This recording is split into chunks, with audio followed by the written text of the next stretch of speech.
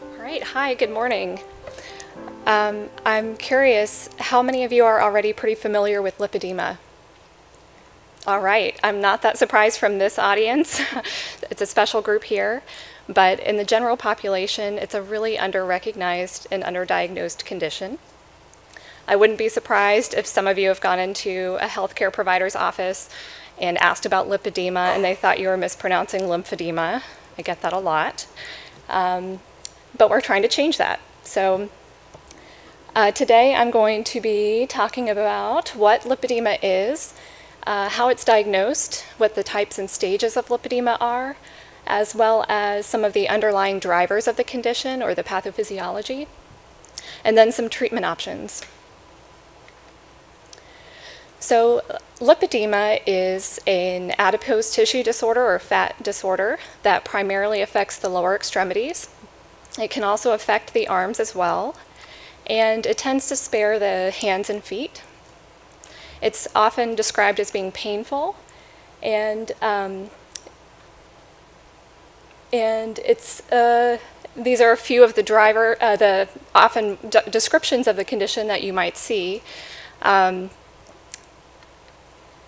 we don't really know how common the condition is. Some sources will call it a rare condition, however, those tend to be a little bit more dated now. Now that we're getting more knowledge about it, we find that it's much more common than we once thought. Dr. Földi in Germany uh, estimates somewhere as high as 11% of women may have the condition. There's no specific test or lab imaging, lab or imaging to diagnose lipedema. Uh, in fact, the diagnostic criteria from 1951 are still largely used today. It does occur almost exclusively in women. You may see uh, a few men that have the condition, but it is incredibly rare.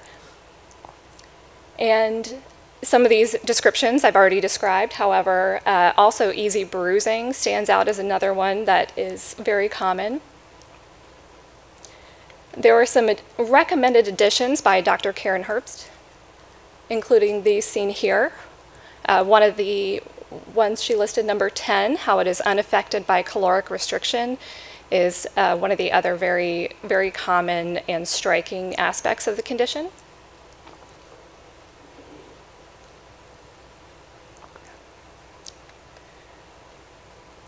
There are different types of lipedema depending on what part of the legs are affected and if the arms are affected. You can have different combinations, so of course you could have both the arms and the legs affected.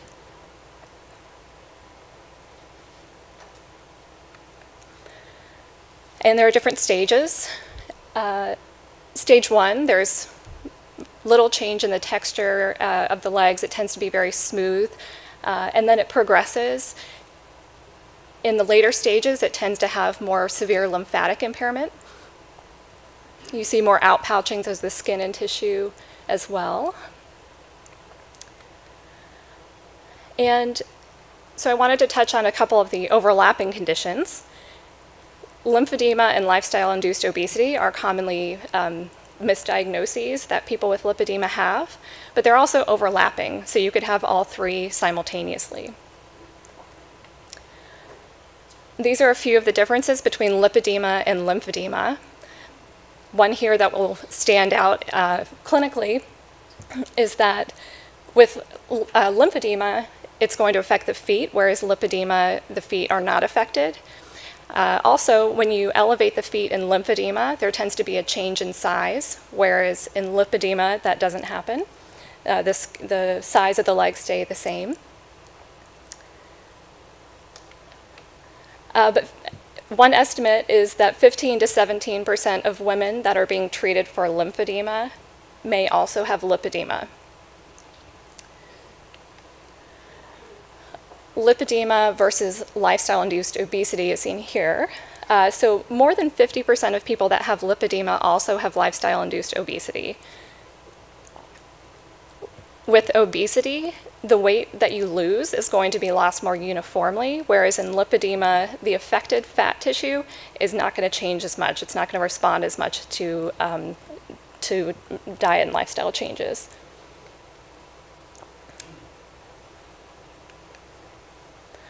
So what are the underlying drivers of the condition?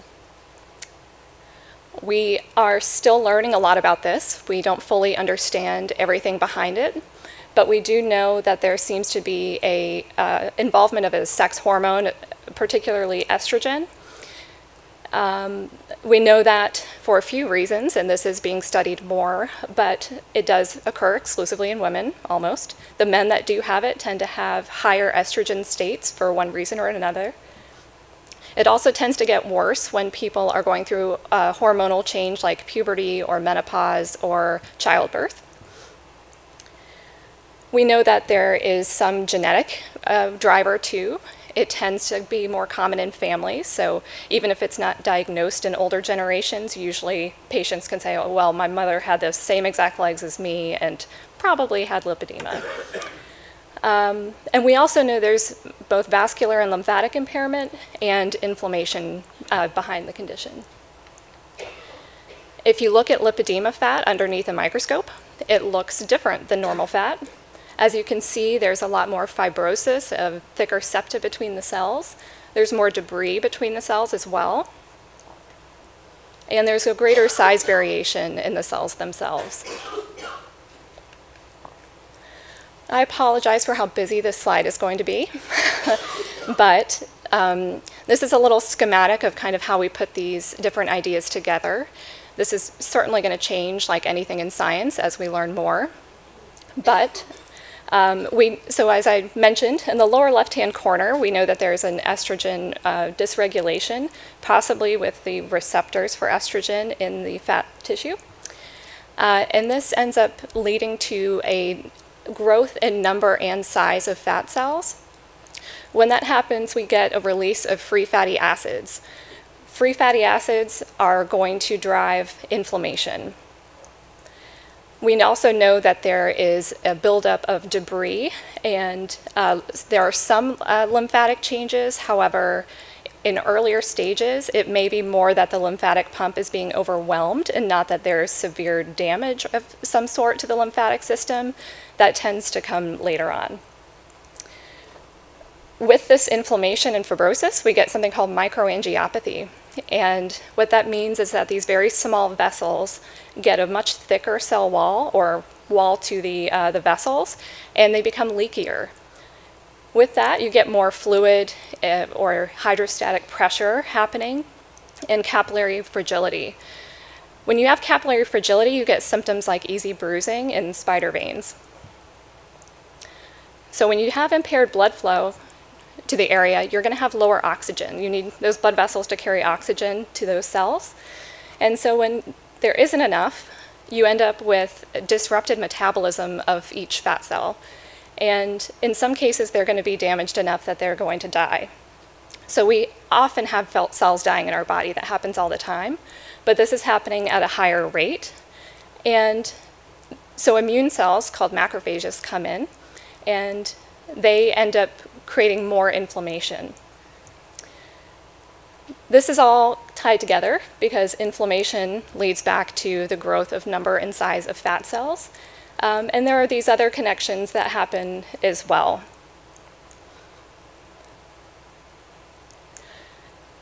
To me, this gives a lot of different opportunities for where we can try to target treatments. The more we know about how it works, the more we can try to treat these underlying drivers.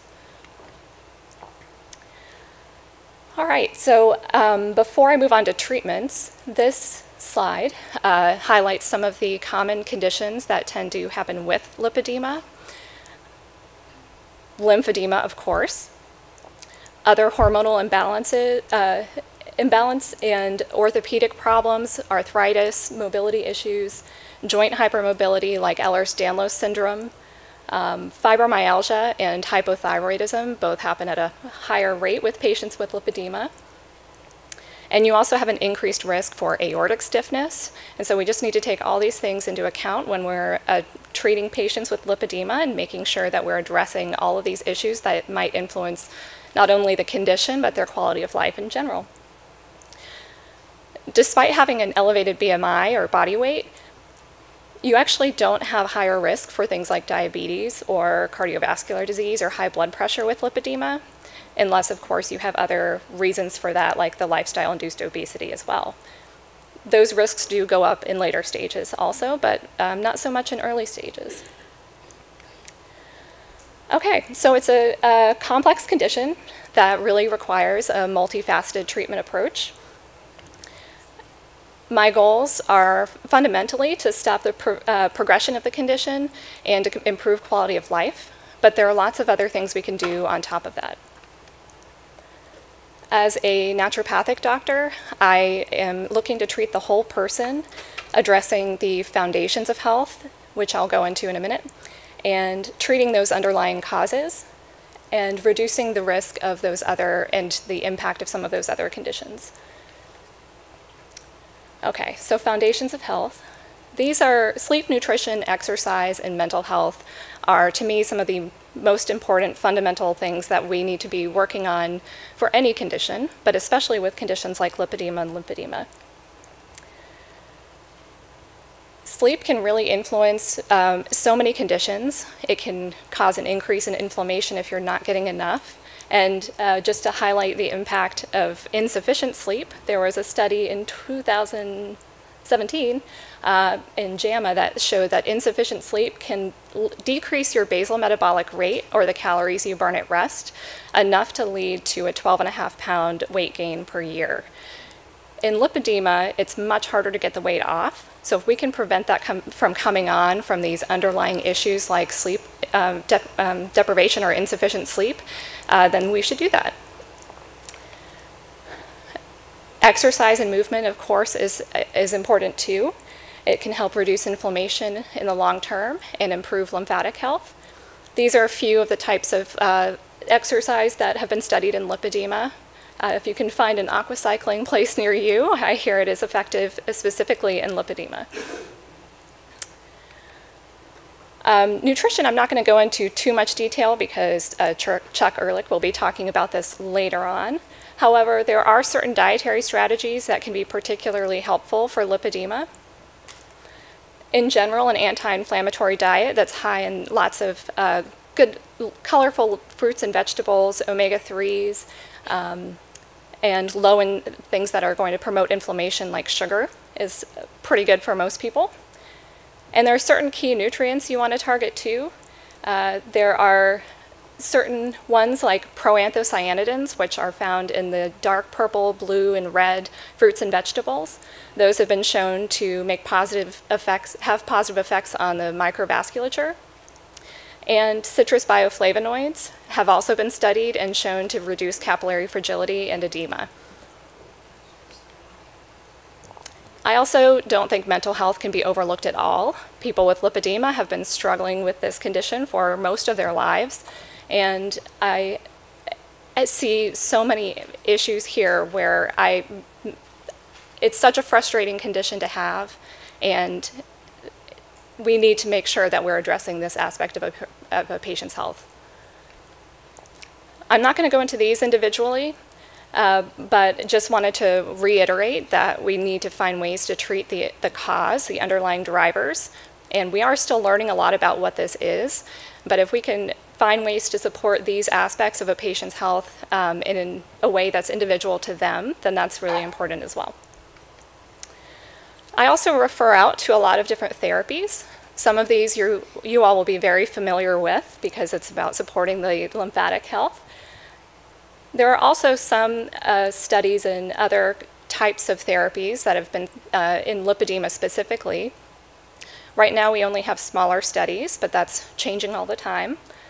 One study on vibrotherapy, where it was a vibration technique, was incorporated with manual lymphatic drainage, uh, showed some improvement in um, quality of life and leg volume over uh, MLD alone. And other possibilities like Quadrivas therapy have research being done on that as well. Currently, that one is only available in the Netherlands. However, I think that's going to be changing. And lastly, I just wanted to touch on some of the procedural treatments because I get asked about these frequently. Uh, liposuction is appropriate in some cases, and it has been shown to improve quality of life and reduced uh, pain, as well as, of course, the size of legs and, uh, and arms if that is affected. And it just needs to be done with somebody who is familiar with lipedema and is using techniques that have been shown to be effective specifically with lipedema, like tumescent liposuction or water-assisted liposuction. Um, studies on that show that the results last for at least eight years in many patients, uh, and probably uh, beyond that as well. Cryolipolysis is uh, better known as CoolSculpting is one of the uh, cryolipolysis techniques. Uh, I do not think this is an option for lipedema because it's intentionally damaging fat cells. It requires a functioning lymphatic system, which we know is a problem, and you are generally going to be treating uh, some larger areas uh, than is really treated with cryolipolysis. And bariatric surgery is only going to be effective if, for the lifestyle-induced obesity and not for the lipedema itself. And I'll just leave you with those two organizations if you want to learn more about lipedema. Thank you.